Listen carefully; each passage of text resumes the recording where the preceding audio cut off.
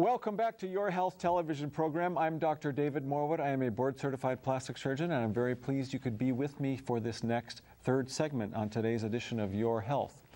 I'd like to take a few minutes to discuss the natural neck lift. Neck rejuvenation or neck lifting, neck liposuction, many different procedures that we can use to create a more uh, firmer, tighter, crisper neckline uh, are all part of what I call the natural neck lift. And of course, in my practice, uh, it's a commonly performed procedure. I get a lot of requests for neck rejuvenation. And in fact, it seems to me in some months and some seasons I perform more neck lifts than I do facelifts. I can do I sometimes do more neck rejuvenation procedures, whether it's simple liposuction or a formal platysmoplasty, than I will for a facelift.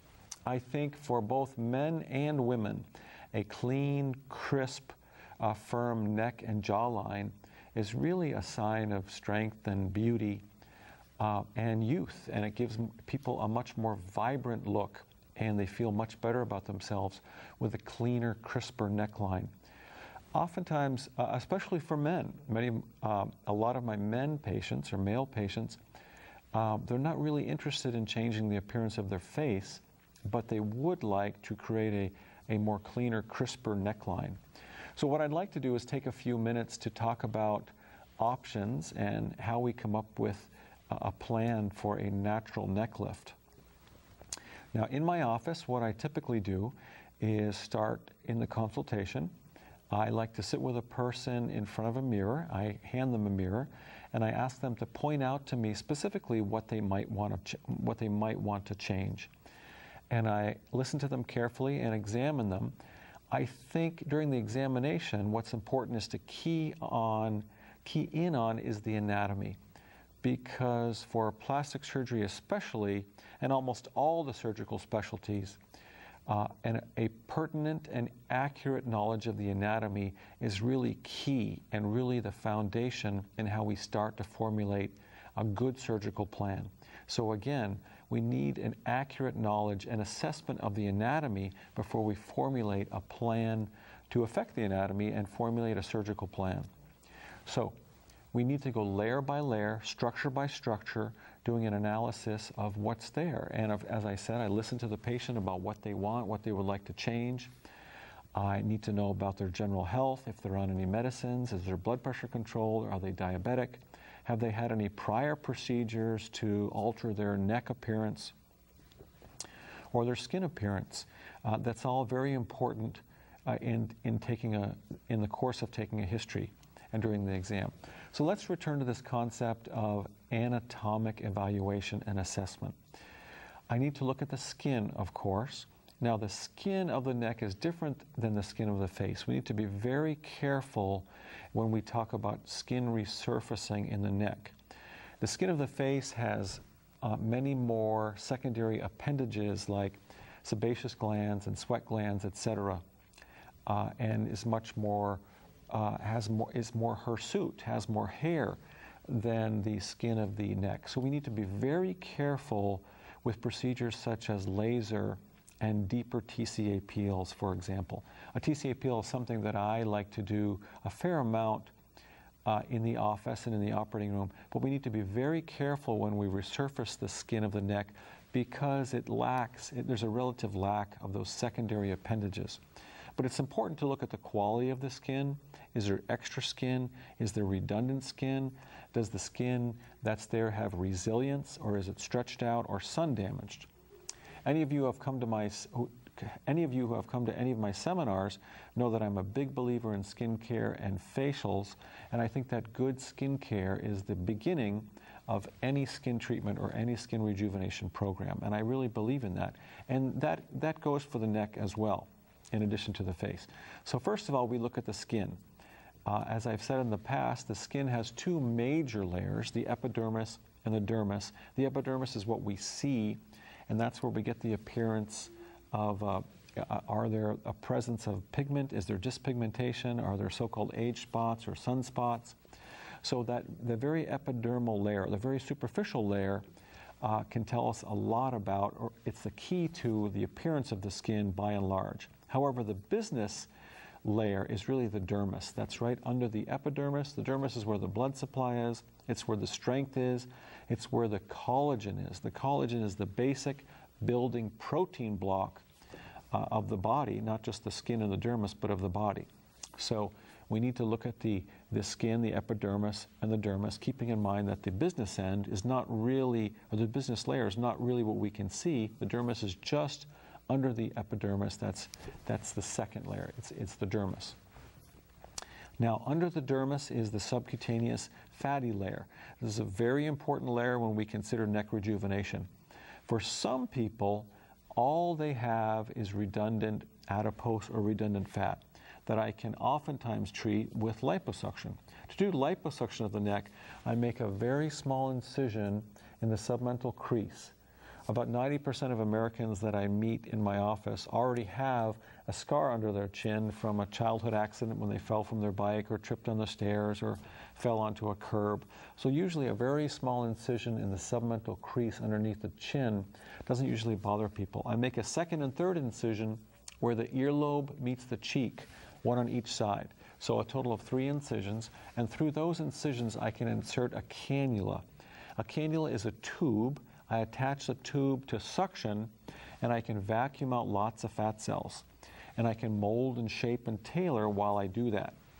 So it's important to keep in mind that liposuction is not for everyone, but for the patient who does not have a lot of lax or redundant muscle, and for the patient whose skin is resilient, it can be a very effective way to uh, smooth out the neckline to make it crisper and cleaner. And that can be effective.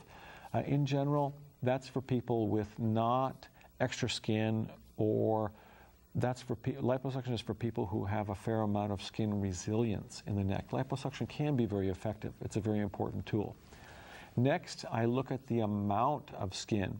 If someone has extra skin and there's too much skin there, then it needs to be either removed or repositioned.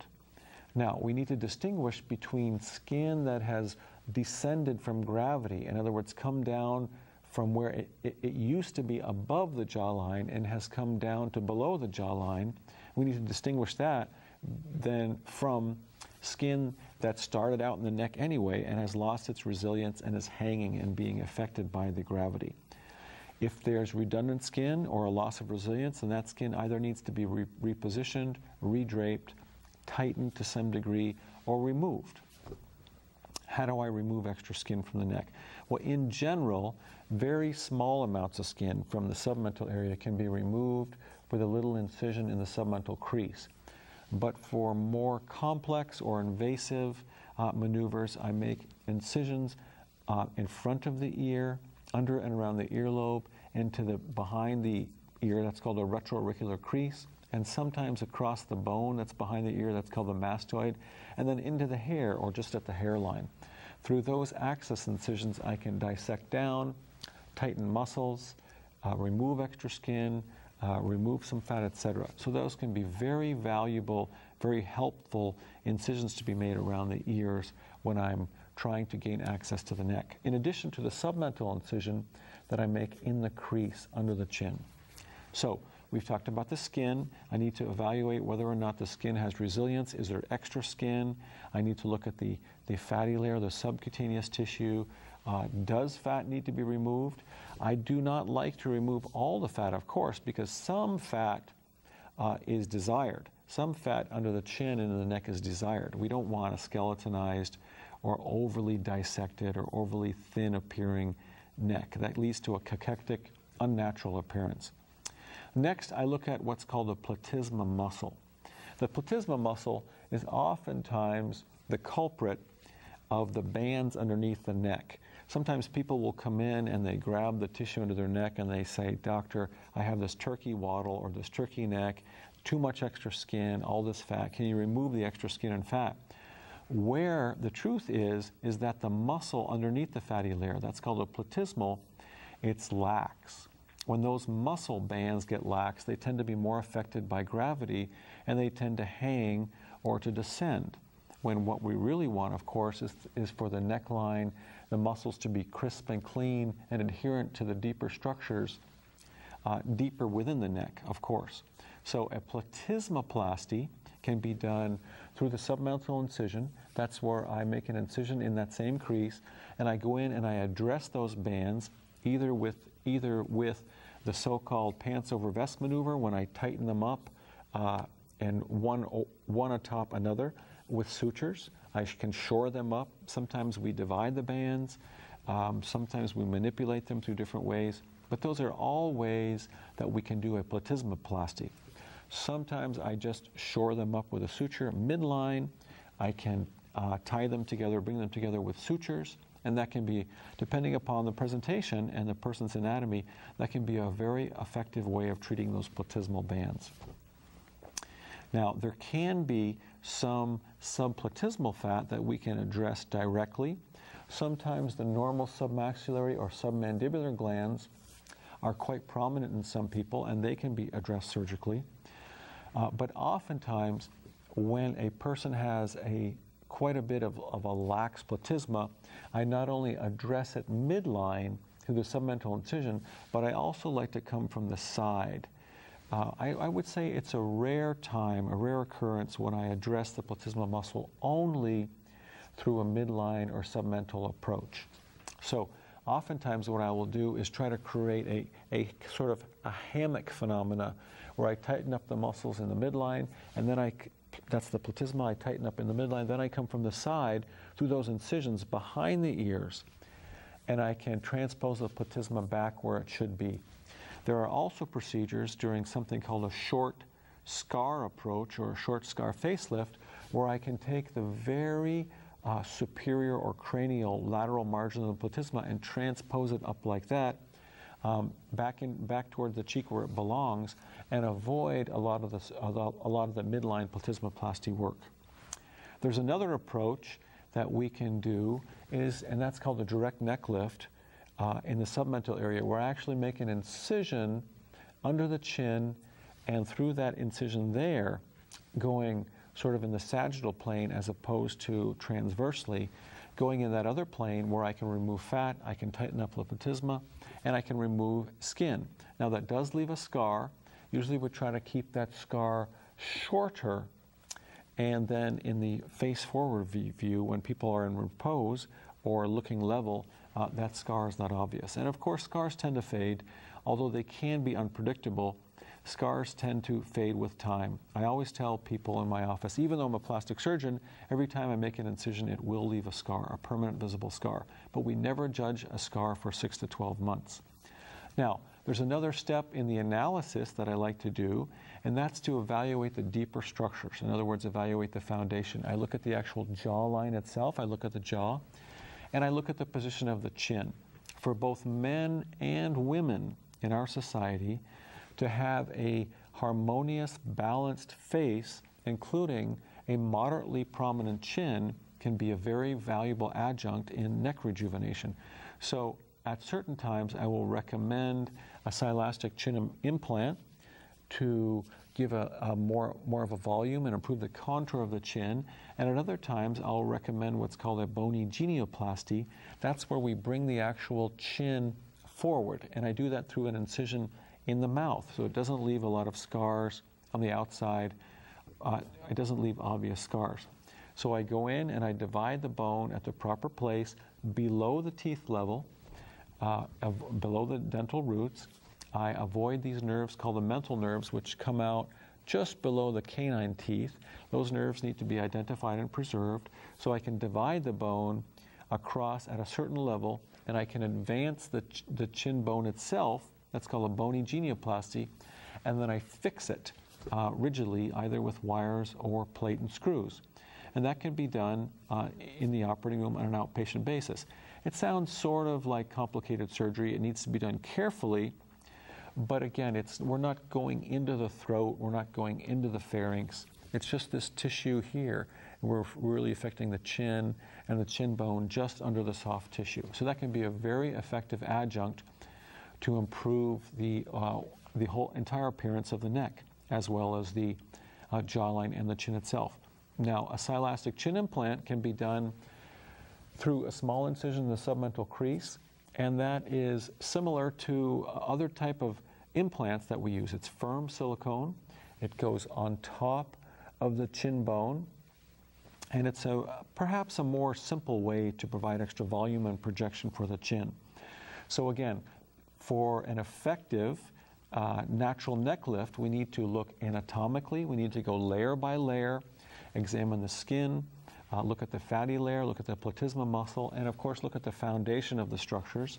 And we need to plan out, plan out our incisions, uh, whether it should be done under local anesthesia in the office or whether it requires a general anesthetic or a more intense sedation at the surgery center or the hospital. And of course, we like to base our approach on what a person wants, what is that person's concern, where do they want to go, keeping in mind their health, how much time can they take off, uh, etc.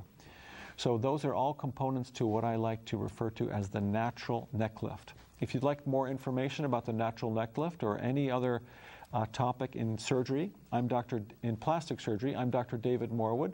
My office is here in Monterey. I'm at 831 646 8661. That's 831 646 8661. Or go to drmorwood.com. D R M O R W O O D. drmorwood.com. Once again, thank you very much for joining, joining us today on Your Health television program. I'm Dr. David Morwood. I am a board certified plastic surgeon. I'm very pleased you could be with us. Please tune in again.